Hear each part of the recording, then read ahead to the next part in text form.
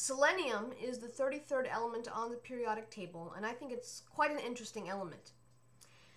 It is necessary um, for life, and so many people actually supplement their diet with selenium. Um, also, uh, these Brazil nuts are actually quite high in selenium, so eating these actually uh, gives you a lot of selenium. However, selenium um, in too high quantities is actually bad. Um, when you sweat, there are compounds in your sweat that have sulfur in them, and selenium is right below sulfur. So sulfur in sweat, um, the sulfur compounds in sweat is a lot of why sweat can sometimes stink. And selenium, if it were in the place of the sulfur, which it can be because it's right below it on the periodic tables, it has very similar chemistry, it would smell even worse.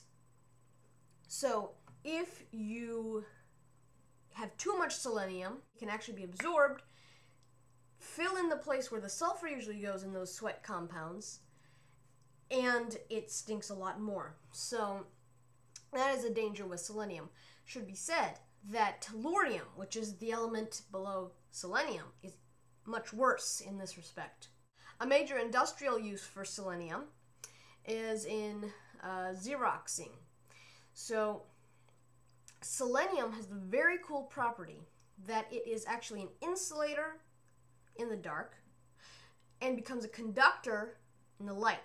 Now, it's in this area of the periodic table where it's there's all the semiconductors are and there's very interesting electrical properties.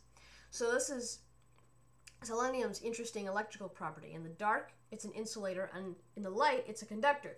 You can see how this would be useful in copying. So uh, what happens is there's a cylinder that's coated with selenium, and there's a thin, just a little bit of a static charge that's placed on the outside of the cylinder. And when the cylinder is exposed to an image where there is light, it suddenly becomes conductive, and the jar- and the charge drains away.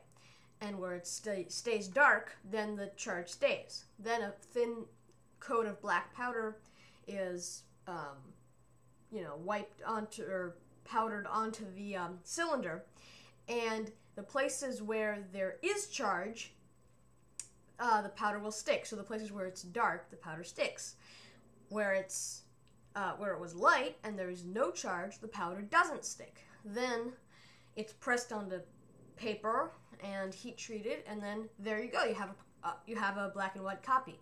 So that is a very very cool application of selenium. It also was used in light meters for photographers, but of course now that's obsolete.